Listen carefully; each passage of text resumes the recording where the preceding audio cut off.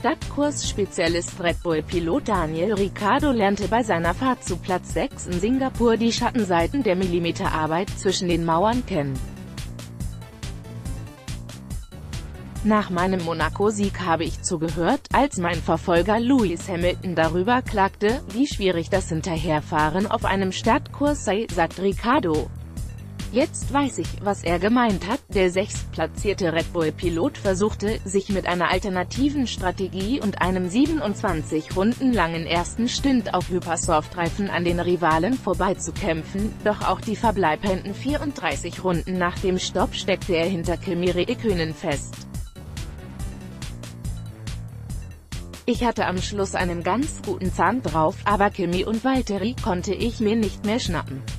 Man kommt nahe heran, aber nicht nahe genug. Mit den Reifen rutscht man da nur noch rum, beschreibt er die schwierige Situation.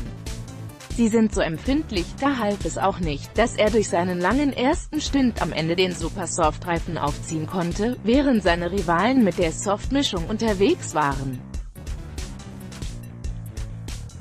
Er war wirklich schnell, lobt auch Teamchef Christian Horner. Aber die anderen einholen ist eine Sache und überholen eine andere, zumal er sich mit Bottas und Räikkönen in einem DRS-Zug befand. Erfolglose Schlussattacke in der letzten Runde Auch die Schlussattacke blieb erfolglos, obwohl Ricciardo nur 0,981 Sekunden hinter Räikkönen ins Ziel kam. Ich habe am Ende versucht, ein bisschen mit Kimi zu spielen, verrät der Aussie, der in der Formel 1 eigentlich für seine genialen Überholmanöver bekannt ist. Etwas Druck machen, wieder etwas zurückfallen lassen und wieder heranfahren. Irgendetwas versuchen halt. In der letzten Runde kam ich in Kurve 13 nahe heran, aber für ein Manöver hat es aber nicht gereicht. Ricciardo, der auf eine Kollision zwischen Räikkönen und Bottas hoffte, verzweifelte auch an den Überrundeten, sofort waren dadurch zwei oder drei Sekunden weg. Das ist viel. Manchmal kämpft man auf einer Runde um Zehntelsekunden, und dann verliert man einfach so Sekunden. Grund für das Zusammenschieben des Trios in der Endphase waren die nachlassenden Softreifen von Bottas. Ich habe gesehen, dass er mit seinem rechten Vorderreifen ein paar Probleme hatte, verrät der fünftplatzierte Räikkönen.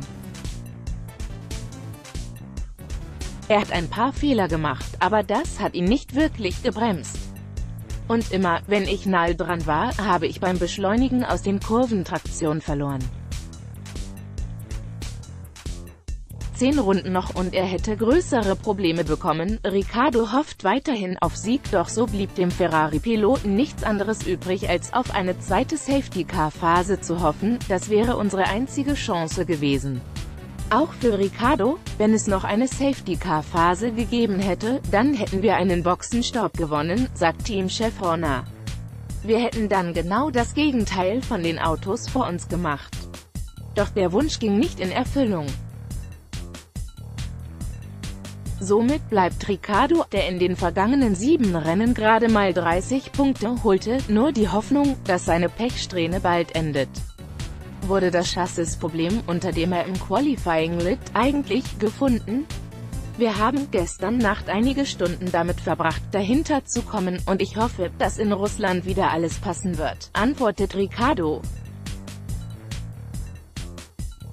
Vielleicht gelingt ja noch ein Sieg auf einem Kurs, wo wir es nicht erwarten. Jetzt werde ich einmal ins Eisbad springen, um ein bisschen abzukühlen.